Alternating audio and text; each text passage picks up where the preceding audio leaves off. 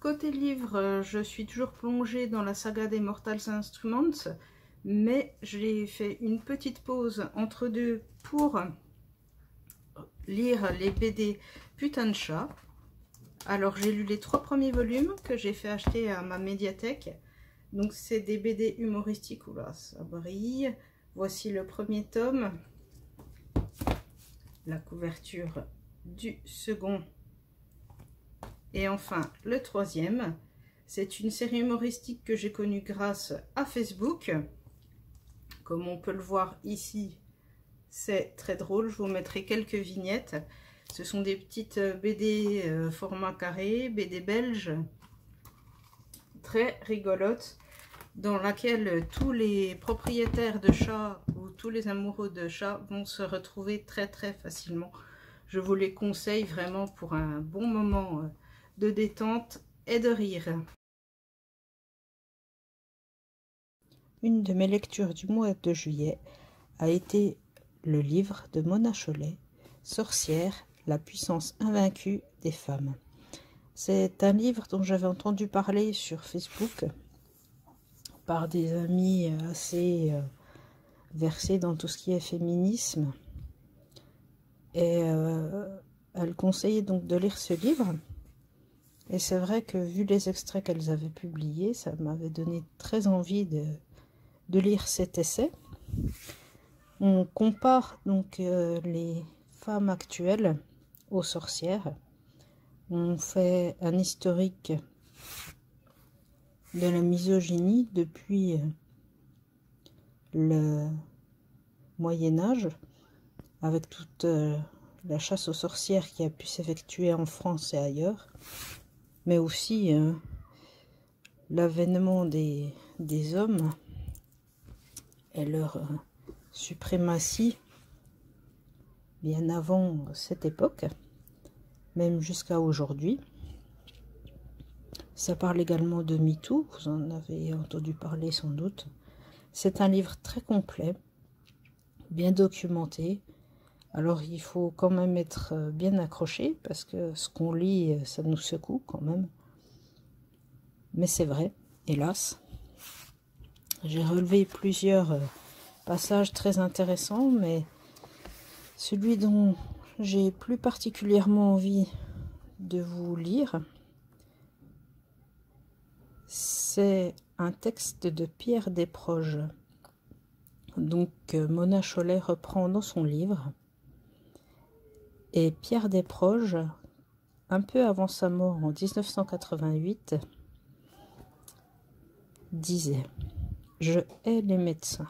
Les médecins sont debout, les malades sont couchés, et les médecins debout paradent au pied des lits de, de pauvres qui sont couchés et qui vont mourir, et les médecins leur jettent à la gueule sans les voir des mots gréco-latins que les pauvres couchés ne comprennent jamais et les pauvres couchés n'osent pas demander, pour ne pas déranger, le médecin debout, qui pue la science et qui cache sa propre peur de la mort en distribuant sans sourciller ses sentences définitives et ses antibiotiques approximatifs, comme le pape au balcon, dispersant la parole et le sirop de Dieu sur le monde à ses pieds.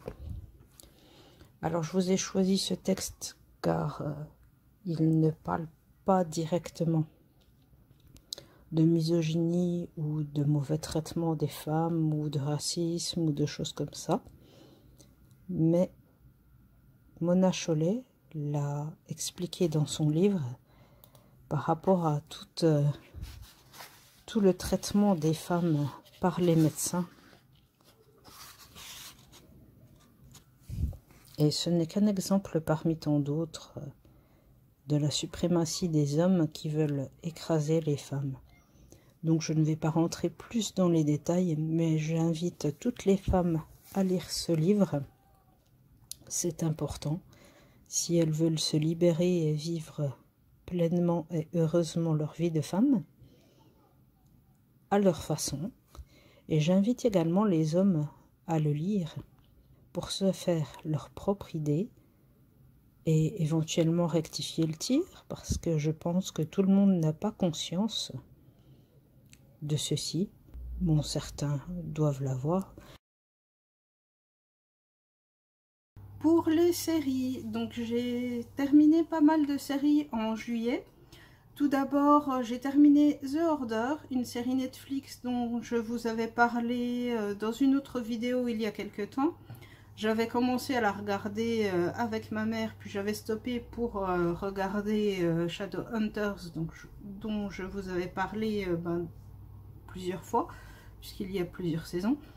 Pour revenir à The Order, c'est pareil, donc c'est une série pour ados qui raconte l'histoire euh, d'un étudiant qui entre en fac et euh, qui se retrouve pris entre une guéguerre, on va dire euh, une guéguerre ancienne entre un groupe de chevaliers loups-garous et une société secrète de magiciens.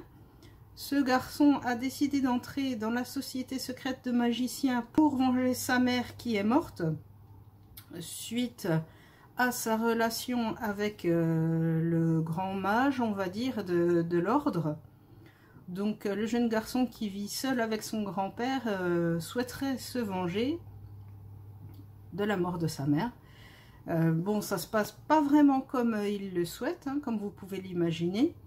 Je ne vous en dis pas plus pour ceux qui ont envie de voir la série. Donc c'est une série plutôt courte, elle ne fait que 10 épisodes. Magic swirls all around us. It is in the air that we breathe. Do not be so naive as to think we are the only ones who can harness its power. Nothing is as it seems. Congratulations on your acceptance to Belgrave University. We have a question. What do you know about the Hermetic Order of the Blue Rose? Everyone knows the Order is fake news.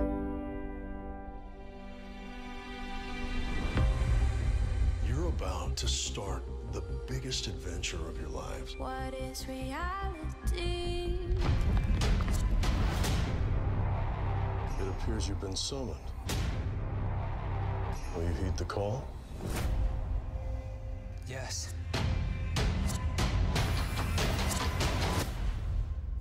We'll be expecting great things from you. Welcome to the Order. I'm gonna...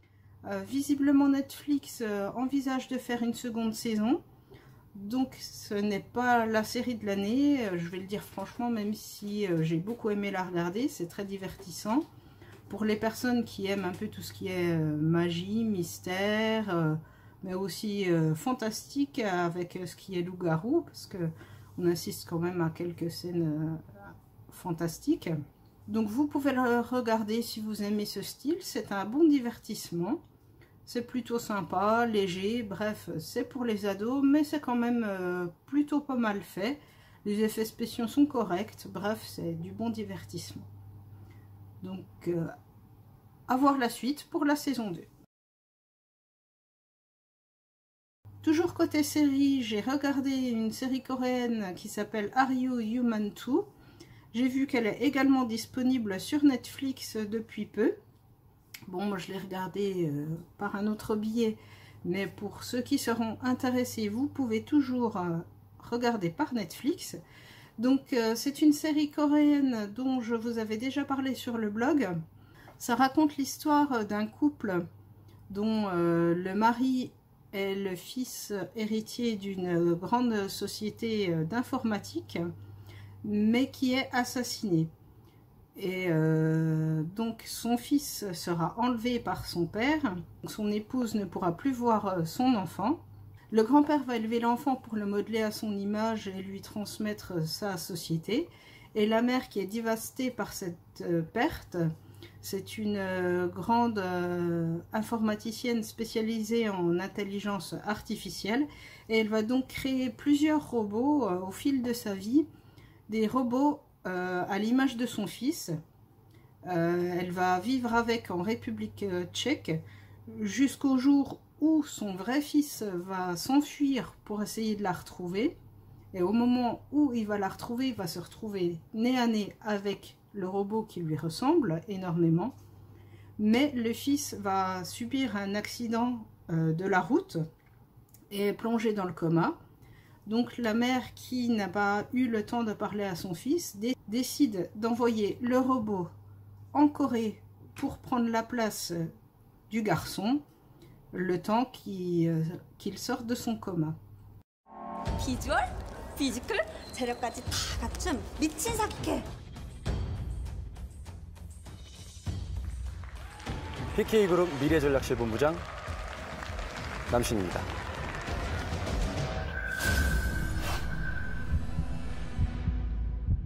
쟤 좀 이상해. 울면 안아주는 게 원칙이에요. 저런 비주얼 놈이 아니야. 절대로.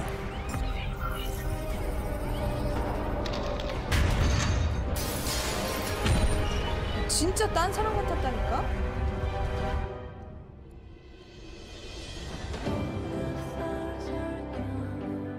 눈에 띄는 행동하지 말라니까 왜 말 안 듣습니까? 들키면 안 되는 거 몰라요?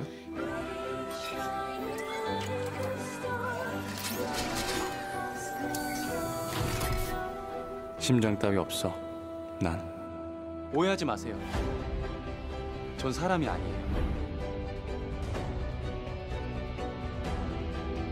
내 아들을 위해선 더한 짓도 해어나. 제발 신이처럼 행동해요. 신이한테 신이처럼 해라? 부부장님. 어, 부장님! 너 뭐야? 아, 뭐냐고! 반가워요. 난 인공지능 로봇 남신 3예요.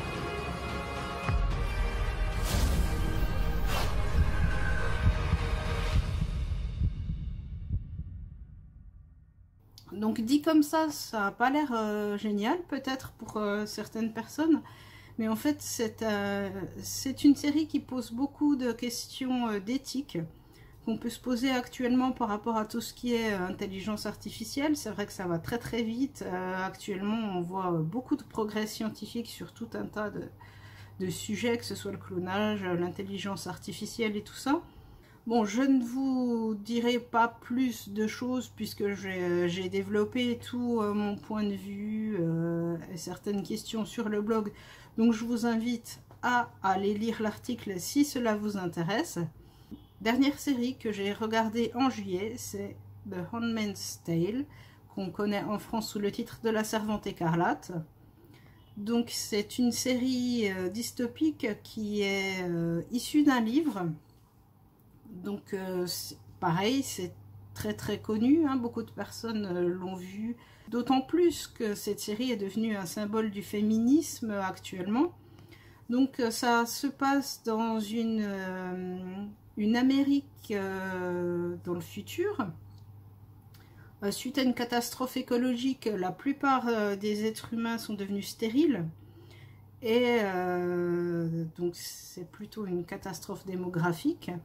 Et donc, un groupe religieux va prendre le pouvoir des États-Unis et va donc créer son État.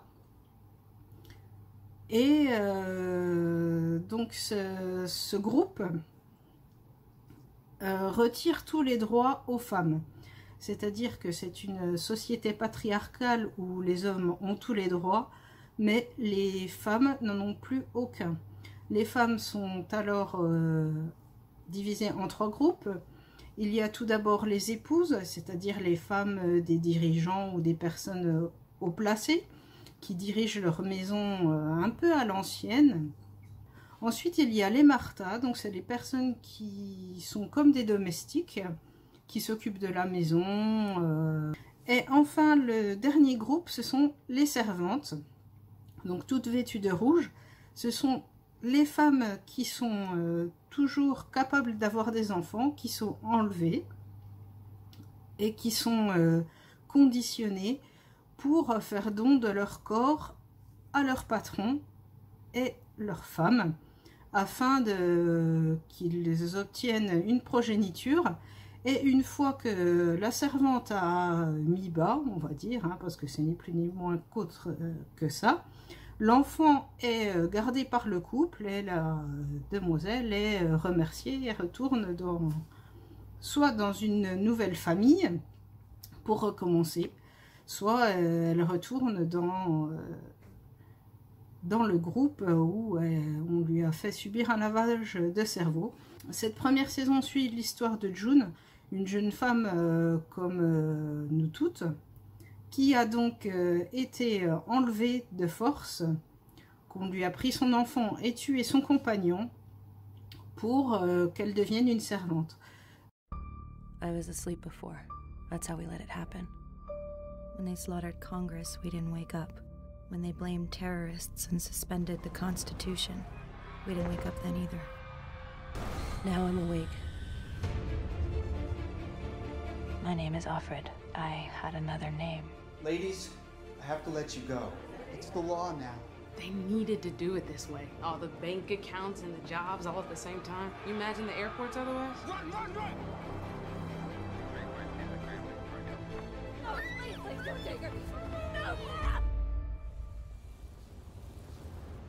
You girls will serve the leaders and their barren wives. You will bear children for them.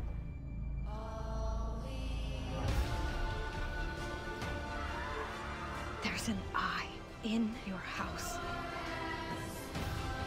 I'll send you to the colonies. You'll be cleaning up toxic waste and then you'll die.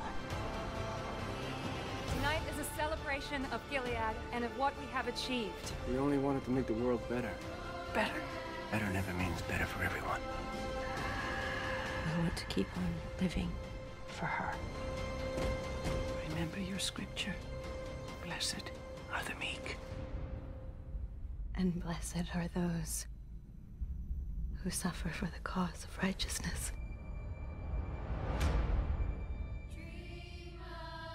Donc le premier épisode, on voit tout de suite les servantes et tout ça, et il y a de nombreux flashbacks qui racontent l'histoire euh, de June. Euh, sa vie était euh, comme la nôtre actuellement, mais depuis que, depuis que ce régime totalitaire s'est installé, elle n'a plus le droit de lire, elle n'a plus le droit, enfin toutes ses libertés lui sont, lui sont retirées, elle est juste un ventre pour procréer. Et c'est vrai que euh, cette série euh, est assez proche de ce qui pourrait se passer. On se pose beaucoup de questions en voyant cela. Euh, c'est assez violent. J'ai vu que c'est interdit au moins de 12 ans, mais, personnellement, j'aurais vraiment interdit au moins au moins de 16 ans.